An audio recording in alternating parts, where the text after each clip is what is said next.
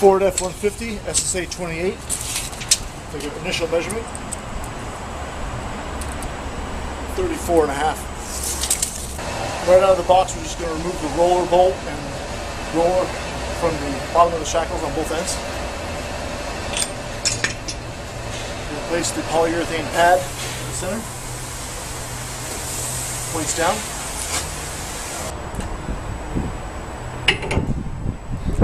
Swing the shackles into place. Front rear. Actually, you can scoot the straight forward a little bit. So you can install the, the rear one of these. We're going to go with the upper hole in this case. Lower hole gives you less lift, upper hole gives you more lift.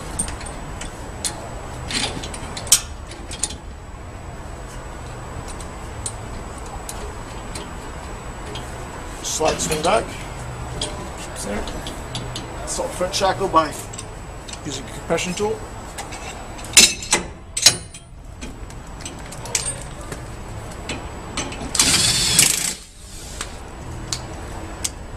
Install roller bolt.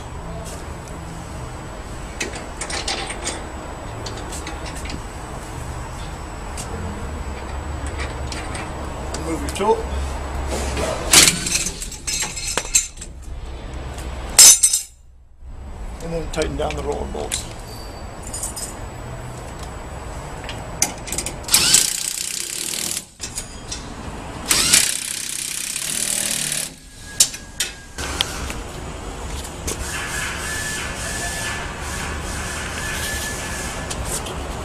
The SSA 28 installed.